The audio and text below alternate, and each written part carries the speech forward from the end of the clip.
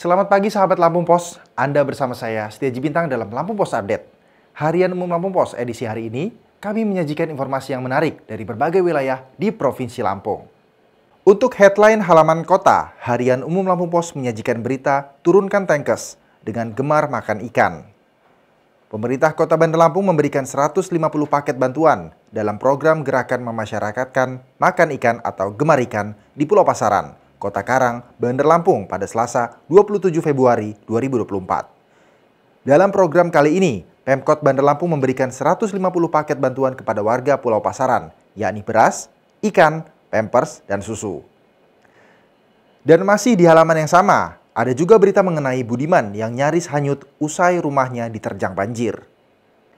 Dan untuk halaman Ruajurai, Harian Umum Lampung Pos edisi hari ini menyajikan berita utama, harga bawang telur naik jelang Ramadan.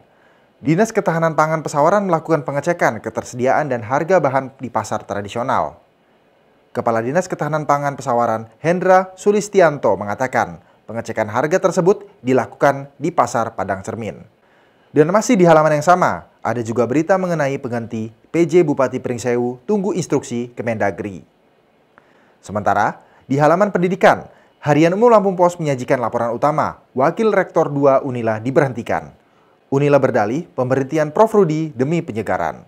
Masih di halaman yang sama, Harian Umum Lampung Pos juga menyajikan berita anak gajah lahir sehat di Waikambas, di mana seekor anak gajah Sumatera lahir di Taman Nasional Waikambas berjenis kelamin betina pada Senin 26 Februari lalu.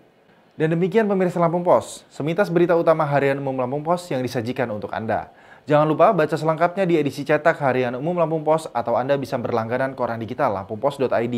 Dukung terus dengan subscribe serta follow sosial media Lampung Pos lainnya.